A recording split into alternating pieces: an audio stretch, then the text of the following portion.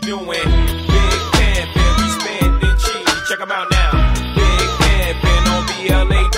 We doing big pimpin' up in. What's up, internet?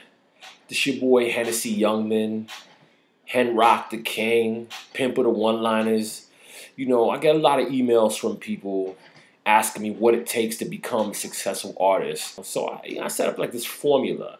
It's about you know 98% guaranteed to work if you want to become a successful artist.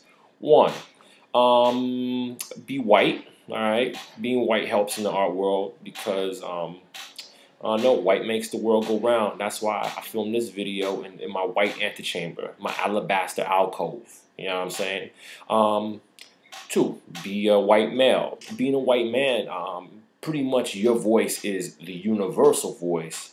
Therefore, anything you make won't be burdened with any kind of like cultural labels that niggas and bitches have to deal with. You know, like for instance, if you're a white man, you want to paint a flower, people see the painting of the flower, they're like, oh, that's a really pretty ass, that's a pretty flower, you know, and that's all it is. It's a motherfucking flower. Nigga paints a flower, becomes slavery flower, you know, flower, flower de amistad or something, you know. Bitch paints a flower, becomes a metaphor for her vagina. It's, it's, it's terrible. So, you know, being a white man grants you universality, naturally, just natural way of naturally making shit, you know. Um, two, be a white woman.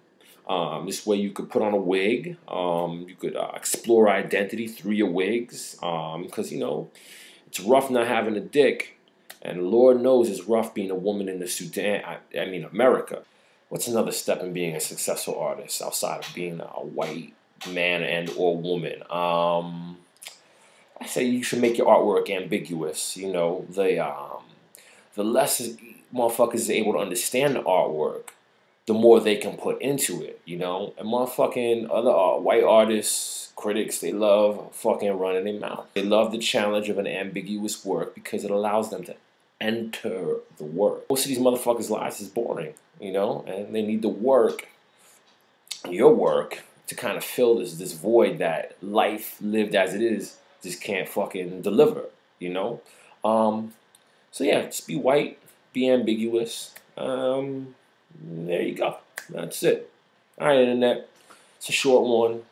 Hope to see some dope paintings and sculptures out of this video from y'all. Um, you know, hopefully, I don't know how long it takes to make art, but I hope I see I see something in a week. You know, hit me up. HennessyYoungman at gmail.com. All right. Peace, internet.